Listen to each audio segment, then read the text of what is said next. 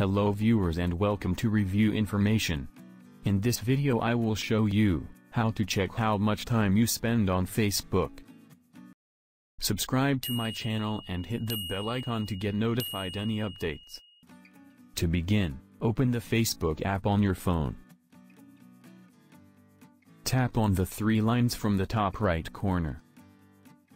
Scroll down. And tap on, Settings and Privacy. Now go to, Settings. Under Preferences, select, Your time on Facebook. Now go to, See your time. You will then see a bar graph, showing the amount of time you spent on a specific day while using the Facebook app on this device. You will also see your average spent time this week, along with the average spent time last week. Now swipe to the left.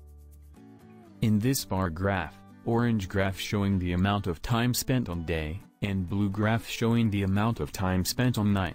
You will also see your average nighttime this week, along with your average daytime this week. Again swipe to the left. Here you will see the number of times you open the Facebook app on this device. You will also see your average per day this week, along with your average per day last week. If you toggle this slider, you will get an update each week to see how you are managing your time on Facebook.